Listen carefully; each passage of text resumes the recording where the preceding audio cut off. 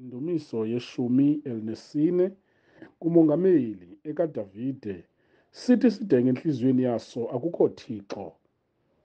Bonakalisile balisikizi ngeentlonti zabo, akukho wenza okulungileyo. UYehova usemazulwini uqondele koonyana babantu. Ukubona ukuba ukhona oqiqayo oquqela kuThixo. Bonke batyekile, bayimbozisa bephelele. Akukho wenza okulungileyo, akukho nokuba abe mnye.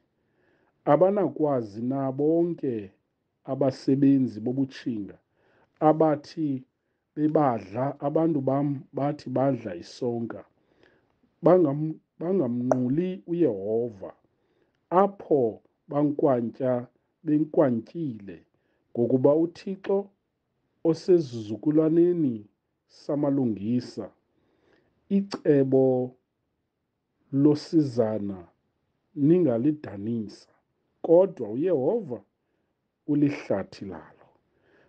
Akwaba bekuvela iZiyoni ukusindiswa kwamaSirayeli, ekubabuyiseni kukaYehova abantu bakhe ekuthinjweni, wogcoba uYakobi avuye uSirayeli.